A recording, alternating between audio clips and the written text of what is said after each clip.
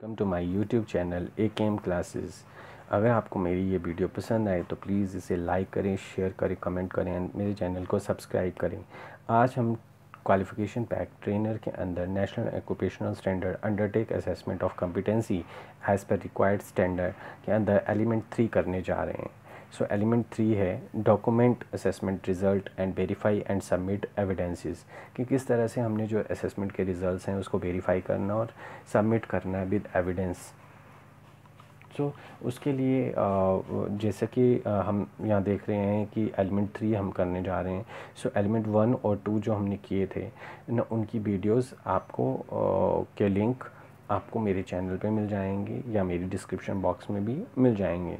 सो so, देखते रहें A M classes so सबसे पहले हम एक बार फिर से अगेन डिस्कस कर देते हैं एलिमेंट्स सो एलिमेंट्स जो uh, इस नोट्स के अंदर हैं that is element one prepare for undertaking assessment of competency as per standard जो uh, इस नोट्स के अंदर पहली वीडियो थी उसका लिंक आपको डिस्क्रिप्शन बॉक्स में मिलेगा। Element two that is conduct assessment of competency किस तरह से हम असेसमेंट को कंडक्ट करेंगे। इसका लिंक आल्सो डिस्क्रिप्शन बॉक्स में मिल जाएगा।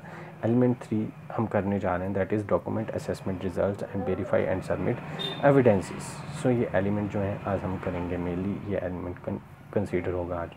तो सबसे पहले हम परफॉर्मेंस क्राइटेरिया देख लेते हैं। परफॉर्मेंस क्राइटेरिया में एलिमेंट uh, के अंदर दैट इज़ किस तरह से हम वेरीफाई कर सकते हैं तो element P C fourteen complete learner assessment record accurately and submit और process as required in the required time frame P C fifteen is use technology while conducting assessment activities such as video evidence of skill performance recording of oral evidence computer based online testing etcetera P C sixteen is check and authenticate the video recording and other evidences to see if there are no shortcomings. Else retake the recording and evidences.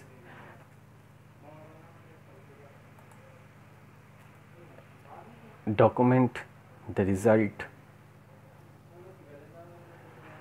on proper temp um, paper uh, template as well as online forms and templates as prescribed accurately.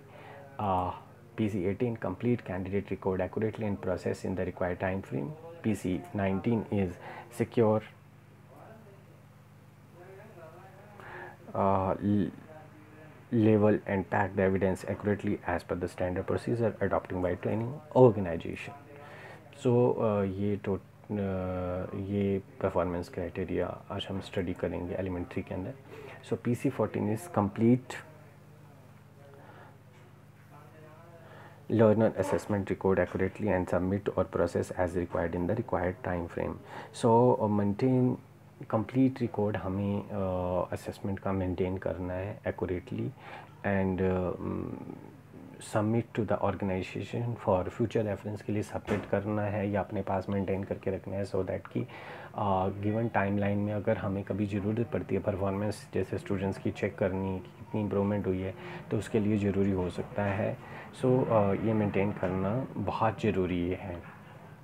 Next is pc 15 pc 15 is used technology while conducting assessment activities such as video evidence of skill performance recording of oral evidence computer based online testing etc so कहीं ना कहीं हमें आ, आ, क्या करना है? जब हम assessment ले रहे हैं तो हमें मेंटेन करनी है एविडेंस ऑफ़ असेसमेंट जैसे वीडियो रिकॉर्डिंग करनी है कोई परफॉर्मेंस हो रही है तो उसको वीडियो रिकॉर्डिंग करनी है या फोटोग्राफ्स क्लिक करने हैं विद टाइम डेट सो या कंप्यूटर बेस्ड हो रही है या ऑनलाइन टेस्टिंग हो रही है तो उसका रिकॉर्ड मेंटेन करना है और टेक्नोलॉजी का यूज़ करना है सो दैट कि ऑथेंटिकेट प्रॉपर ऑथेंटिकेशन हो असेसमेंट की। कोई ये ना बोल सके कि फ़ेक काम किया हुआ है।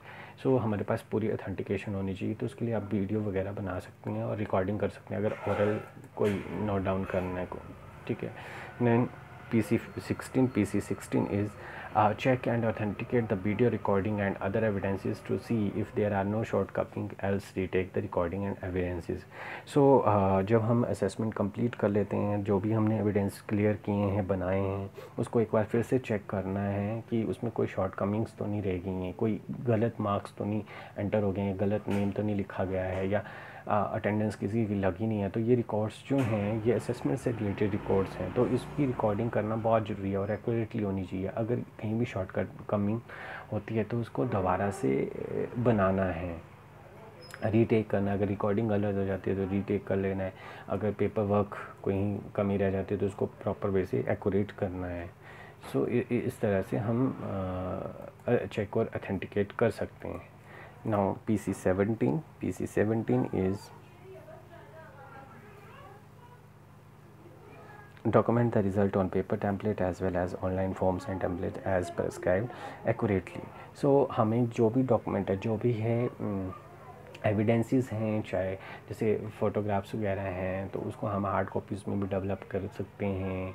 ब्लैक एंड वाइट हो सकती है कलर हो सकती है वीडियोस हैं वीडियोस की सॉफ्ट कॉपीज़ मेंटेन सीडीज़ में हो सकती है। तो ये जो जो भी हमारे, जो भी प्रोसेस हुई है असेसमेंट की, इसका जो रिज़ल्ट हैं, बच्चों के रिज़ल्ट हैं, चाहे वो ना, इसको प्रॉपरली रिपोर्ट कार्ड में मेनटेन करना है अटेंडेंस शीट हार्ड कॉपीज़ में मेनटेन करनी है, ये सारी चीज़ें हमें मेंटेन करनी है। अगर कोई ऑनलाइन फॉर्म है या पेपर टेम्पलेट हैं तो जो भी प्रेस्क्राइब किए गए हैं ऑर्गेनाइजेशन के द्वारा, है ना, उसके अकॉर्डिंग उसको मेंटेन करके रखना है ताकि फ्यूचर रेफरेंस में इसका यूज़ हो सके फीडबैक दिया जा सके ट्रेनिंग्स को इसको देखते हुए। और फ्यूचर में ये भी एक लर्नर लर्नर को परफॉर्मेंस इम्प्रूवमेंट के बारे में बता सकते हैं हम, उसको बताया जा सकता है। है ना? और इससे एक जो ट्रेनर है, उसको भी ये रेफरेंस मिलता है कि लर्नर की इम्प्रूवमेंट एरिया कौन कौन से हैं और उसको कहाँ इम्प्रूवमेंट करवाना है। P C eighteen P C eighteen is complete candidate record accurately and process in the required time frame framework so so, जो भी कैंडिडेट का रिकॉर्ड है चाहे इंडिविजुअल है चाहे पूरा क्लास का रिकॉर्ड है सेशन का रिकॉर्ड है ना उसको कंप्लीट करना है जो भी टाइम लाइन जैसे अटेंडेंस है असेसमेंट की तो वो within the during assessment period ही होगी। जैसे कोई और रिकॉर्ड है रिज़ल्ट शीट बननी है तो आफ्टर असेसमेंट होगी। तो ये चीज़ों को ध्यान में रखते हुए जो भी ऑनलाइन फॉर्म्स या टैंपलेट्स दिए गए हैं या प्रेस्क्राइब्ड हैं ऑर्गेनाइजेशन के द्वारा कोई तो उसके अकॉर्डिंग जो है इसको प्रॉपर वे से मेंटेन एक्सप्लेन करना है डॉक्यूमेंट करना है। P C nineteen is secure level and pack the evidence accurately as per the procedure adopted by the training organisation जो भी ट्रेनिंग ऑर्गेनाइजेशन के प्रोसीजर हैं, उसके अकॉर्डिंग हमें ये जो एविडेंस हैं असेसमेंट के, उनको प्रॉपर वे से लेवल करना है, जैसे फ़ाइल में है तो फ़ाइल कवर पे लिखना है प्रॉपर कब असेसमेंट हुई, कौन सी असेसमेंट है, किस सेशन की है, कितने स्टूडेंट्स प्रेजेंट थे एबसेंट थे, ये सारा प्रॉपर वे में मेंटेन करना है फ़ाइल पे और मेंटेन करने के बाद प्रॉपर वे से एक्यूरेटली पैक करना है, जैसे सीडीज़ हैं वीडियोस की तो उसको उसके साथ अटैच करना है प्रॉपर वे से पैक करके रखना है, ताकि उसको कोई नुकसान ना हो। तो प्रॉपर वे से सिक्योर करके रखना है। अगर जब, क्योंकि फ्यूचर रेफरेंस में अगर इसकी ज़रूरत पड़ती है तो उसको क्या है यूज़ किया जा सकता है। तो इसको प्रॉपर वे से मेनटेन करना है। अगर कोई प्रूफ चाहिए असेसमेंट का तो वो टाइमली मिल सके। सो इस तरह से हमने आज डिस्कस किया कि किस तरह से हम असेसमेंट जो है प्रॉपर वे से करवा सकते हैं। तो जिसमें हमने एलिमेंट वन जो पिछली वीडियो में किया था कि किस तरह से हम असेसमेंट ऑफ़ कॉम्पिटेंस के लिए प्रिपेयर करते हैं। पिछली वीडियो में हमने फिर किस तरह से असेसमेंट को कंडक्ट किया जाता है और इसमें किया हमने थर्ड एलिमेंट में कि किस तरह से हम डॉक्यूमेंट करेंगे विद प्रूफ और वेरीफाई करेंगे असेसमेंट के रिज़ल्ट को और असेसमेंट हैपनिंग को।